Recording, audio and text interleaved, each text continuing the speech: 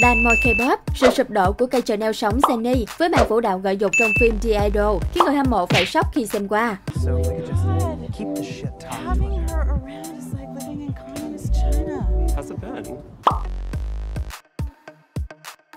Tờ Ten Asia nhận định hình tượng Human Chanel của Jennie bị sụp đổ sau màn phụ đạo gợi dục trong phim The Idol. Truyền thông Hàn cũng đặt câu hỏi cho YG về khả năng quản lý. Ngày 6 tháng 6 năm 2023, tin tức về cô nàng và The Idol ngập tràn các phương tiện truyền thông Hàn Quốc, nhưng với những tiêu đề cũng như nội dung không mấy tích cực. Phụ đạo 19 cộng, Jennie gây thất vọng là tiêu đề bài viết của Money S. Trong khi đó, Sports Đông Á đặt tiêu đề là Jennie cố gắng ra mắt với vai trò diễn viên, nhưng chỉ có màn trình diễn phụ đạo 19 cộng. Từ khóa phụ đạo 19 cộng gắn liền với cô nàng ở hàng loạt tiêu đề bài báo. Trong khi đó, ở nội dung, các phương tiện truyền thông Hàn Quốc chỉ ra khán giả nước này đã sốc đến mức nào khi thấy các cảnh quay của Jennie trong tập đầu tiên của The Idol. Nhiều trang báo cũng đặt câu hỏi cho YG Entertainment về vai trò quản lý của công ty này khi để cô ra mắt trong bộ phim quá tai tiếng như The Idol. Cây Chanel sống là biệt danh của người đẹp. Biệt danh này gắn với Jennie bởi cô được nhận xét quá phù hợp với nhãn hàng, đồng thời cũng nhiều lần tạo xu hướng thời trang. Tuy nhiên, trong bài viết đăng ngày 6 tháng 6 năm 2023, tờ Ten Asia đặt tiêu đề Sự sụp đổ của Human Chanel Sunny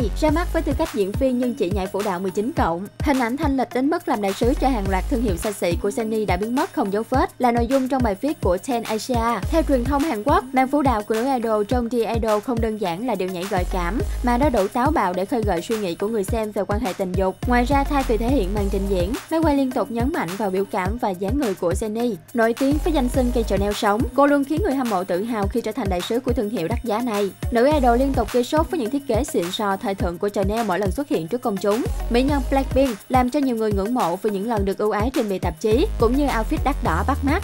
Có thể nói rằng Jennie là con cưng của Chanel bởi hình ảnh của cô nàng xuất hiện dày đặc trong chiến dịch quảng bá trang sức cao cấp của cô hay những buổi khai trương flagship store. Ngoài ra, cô nàng còn được nhà mod ưu ái cho ngồi hàng ghế đầu tại sự kiện thời trang lớn như Paris Fashion Week. Xuất thân là một mảnh ghép của group đình đám Blackpink, cô gây ấn tượng bởi vẻ ngoài xinh đẹp và thần thái sang chảnh. Gương mặt thu hút của cô nàng cùng style ăn mặc quý tộc, Jennie trở thành con cưng của nhãn hàng thời trang xa xỉ bậc nhất Chanel. Mỗi lần xuất hiện trước công chúng, nữ ca sĩ luôn tỏa sáng trong những bộ cánh đắt tiền của Chanel. Cô gái ma bánh bao của Blackpink cũng là khách mời vinh dự trong những show thời trang danh giá. Chính vì thế, netizen đã ưu ái gọi cô bằng danh hiệu Chanel sống. Debut từ năm 2016 cùng với Blackpink, Jennie có trong tay sự nghiệp và khối tài sản nhiều người mơ ước. Với nhan sắc cùng khí chất cực đỉnh, nữ thần tượng sớm lọt vào mắt xanh của không chỉ một mà nhiều nhãn hiệu nổi tiếng khác ở khắp lĩnh vực. Từ khi đảm nhận vai trò House Ambassador của Chanel, nữ ca sĩ tận hưởng sự chiều chuộng đến tận mây xanh.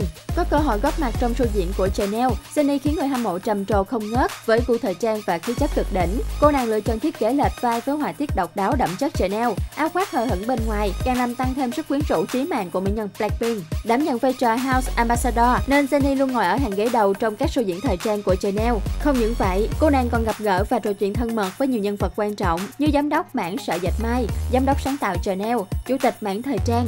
Cô nàng thường xuyên được Chanel đẩy bìa các tạp chí lớn, không hổ danh House Ambassador, nữ thần tượng chinh phục gọn gàng các thiết kế, vừa toát lên tinh thần thương hiệu, lại không mất đi bản sắc riêng. Sự xuất hiện của mỹ nhân Blackpink và trang phục của Chanel lần nào cũng khiến dân tình trầm trồ. Điều đó đã làm dấy lên cuộc tranh luận sôi nổi. Boss Khan, trích đăng bình luận của khán giả. Đây là lần đầu tiên tôi thấy một thần tượng biểu diễn ở mức độ cao như vậy. Vì vậy tôi rất xấu hổ và sốc. Có phải cô ấy không thể tránh khỏi việc hình ảnh bị tụt dốc?